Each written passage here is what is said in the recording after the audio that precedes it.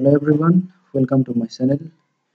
Today we are going to discuss about the problem of bearing. So you you can see a problem of hydrodynamic bearing. So the following data is given for a 360 degree hydrodynamic bearing. Radial load is given 3.2 kilonewton journal speed journal diameter bearing length radial clearance and the viscosity of lubricant is given in centipoise. So assuming that the total heat generated in the bearing is carried by the total oil flow in the bearing, we have to calculate this value that is the coefficient of friction, power lost in friction, minimum oil film thickness, flow requirement in 1 liter per minute and temperature rise. So here we have this given data. Load is 3200 Newton. The speed is in RPM, diameter, length, clearance is given by C and this Z value. So here we go the first step. Step 1. So this is to determine the pressure. So pressure is weight that is load divided by area what is given by length into diameter. So we have 3200 divided by 50 into 50 and we will have this value 128 newton per mm square. So our first question asks to determine the coefficient of friction so we have this formula for determine the coefficient of friction is that F is equal to 2 pi square Z n by P into R by C. So we will get this formula in design data handbook so let us solve. Z we have 25 centipoise that converted to what will be the unit? Newton second per mm square. Then we have the speed. Speed is 1 4 90 it is in per minute. So to convert this to second we have to divide this by second. So now our unit is second. Now pressure. Pressure is what? We have determined 128 so here we write this mm square by newton and we will have this R by C ratio. R is what? 25 mm and C is 0.05 also this is unitless. So all this unit will cancelled. So we'll have unitless number. And we will get a value of 0.00 478 next. Step 3 so here we have to determine the frictional loss.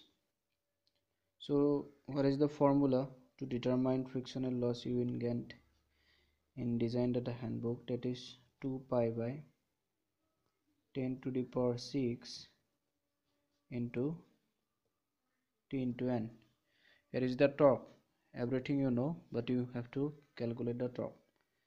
So the torque formula is coefficient of friction weight and r.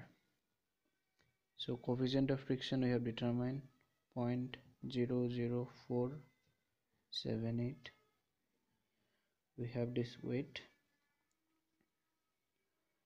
uh, it is uh, 3 to 0 0 and radius is given by 25 okay this is unitless. It's newton mm. So we'll have this value 382 newton mm. Okay now let's calculate power loss.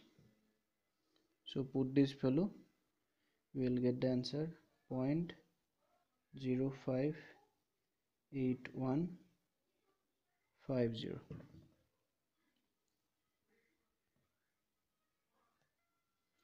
So step 4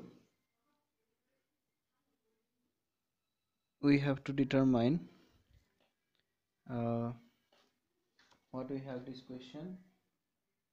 To determine the minimum oil film thickness. So to determine this we have to first calculate the Sommerfeld number. So it is given by R by C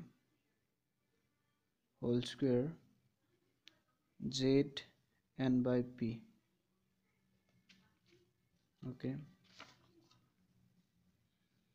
So R is what? 25 mm. C is 0.05 square. Z is we have 25 into 10 to the power minus 9 the speed n is what? 1490 and pressure we have 128 so this is unitless. We have this unit of z newton second per mm square okay. Then the speed is 1 by per minute then pressure mm square by newton. So we will have this second per minute. So let us calculate this.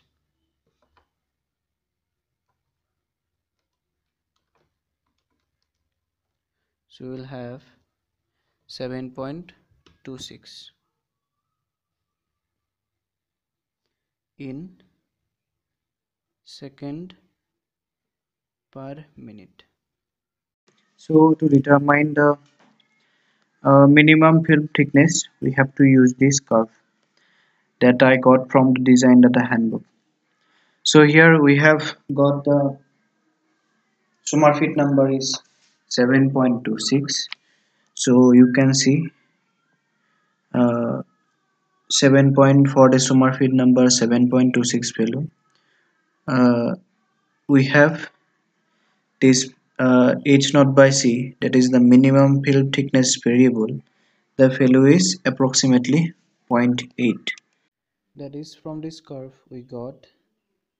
H naught by c is equal to 0.8 so h naught is equal to 0.8 into c C means 0.05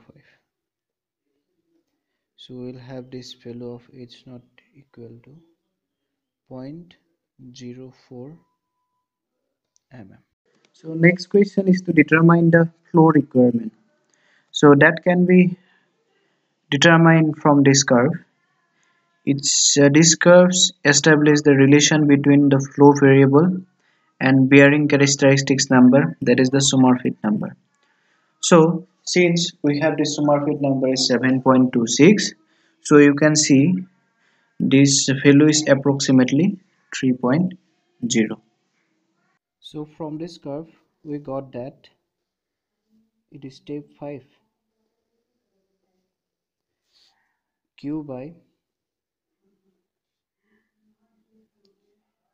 rc nl is equal to 3 so here q equal to 3 the fellows r is 25 it is 0.05 then 1490 into 50 so its unit will be mm cube per minute isn't it so we'll have this value q equal to 279375 mm cube per minute. So the question is to determine the flow requirement in 1 liter per minute. So we have to convert this to liter per minute.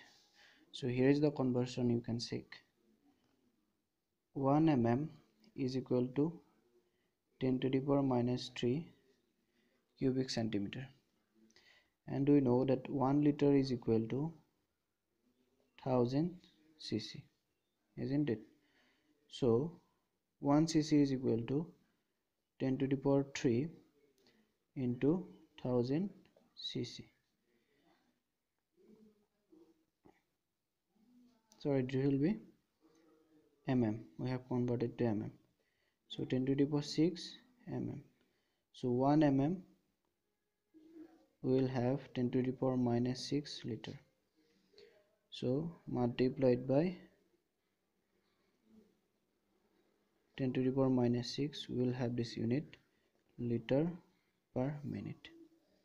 So q is equal to 0.2793 75 liter per minute